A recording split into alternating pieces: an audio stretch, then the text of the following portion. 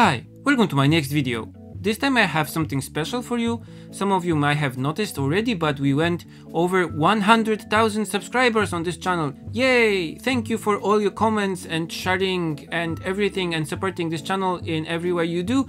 Because of your support and your subscriptions, we went over 100,000. I'm very very very very very happy that so many of you decided to subscribe to this channel, especially that I usually upload just my usual art that I do as my everyday work, so I'm able to stay true to my style and to my art and to the way I want to show things and you seem to find it entertaining and you seem to learn something from this which is my goal here to show you the stories behind the art that I do. So thank you again and I hope you like the videos to come. And for this video here I'm doing a quick painting with watercolors of a bank, especially for this video.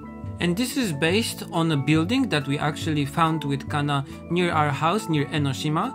Now it's not a bank anymore, but we went inside and we asked some questions and we did some photos and we learned that this was once a bank but now it's used just as a community building or something like that. But I wanted to paint it as a cute little bank that I kind of imagined and I changed the name of the building to Juman Ginko, which means in Japanese 100,000 bank, which is just for celebrating the 100,000 on this channel, yay!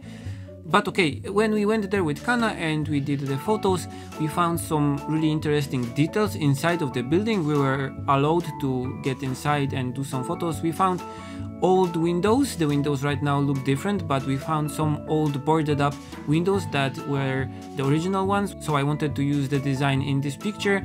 And we also saw what the entrance doors look like. And here I added some details, I changed some things, I changed the proportions of the building, I added the name of the bank of course, I added a bicycle on the right side to make it uh, seem more used and I added the Nobori on the left side, so the kind of banner all of this based on a bit of research that I did. I looked for pictures of old Showa period shopping streets and banks. Uh, you can still find really nice photos of old Japan, although black and white of course, that are a great inspiration for adding a bit of realism to the picture. I also thought by myself and imagined what can I do to make this building appear more bank-like, so I added the bars on the front window and on the window on the side to make it look more sturdy.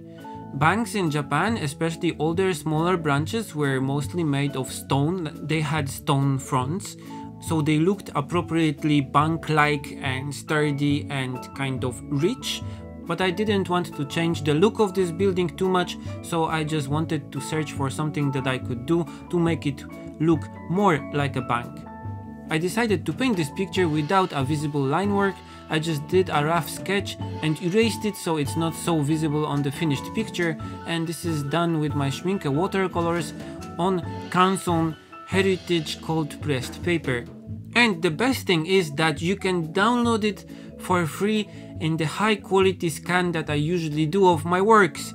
To celebrate the 100,000 subscriptions to my channel, I decided to do something for you, so I decided to upload the full resolution 600 dpi scan that I edited and cleaned up to my Google Drive so you can download it for free and use it for your personal purposes. So you can print it and you can share it with your friends and you can set it as your wallpaper and you can see it in full details so you can better learn how I painted it. The rules and the link to the file is in the description and you can also access it by the QR code and the link on the screen.